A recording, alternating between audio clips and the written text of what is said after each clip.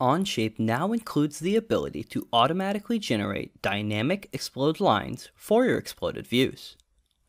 Let's quickly take a look at some of the functions of this highly requested feature. When creating an explode step, you'll now find a tick box to turn on automatic explode line creation. It's enabled by default. The explode line is created reflecting how the part has been moved.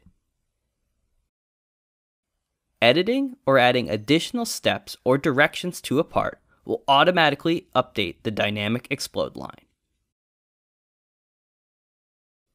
If required, you can use the selection field to select edges, faces, or vertices on the part to realign the explode line location, or even create multiple explode lines for a single part.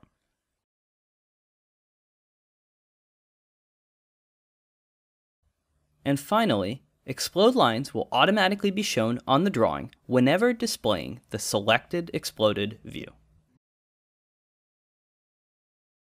If we wanted to fasten two components with a prescribed rotation angle, we traditionally would need to edit a mate connector and apply the rotation there. With this update, we can apply the rotation directly in the mate feature itself. After selecting our mate connectors, under the Offset option, we can additionally select which axis to rotate about and specify a rotation angle. This rotation feature is available in all mate types that allow an offset to be specified. You may now select to show sketches in an assembly drawing view.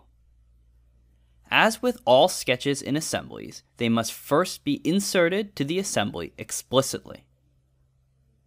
After placing the drawing view, you can right-click and select to show sketches.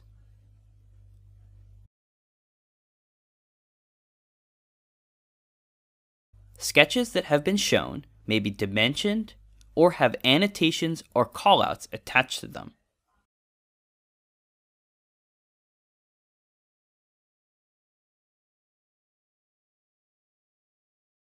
The fillet feature now includes a new option to allow edge overflow.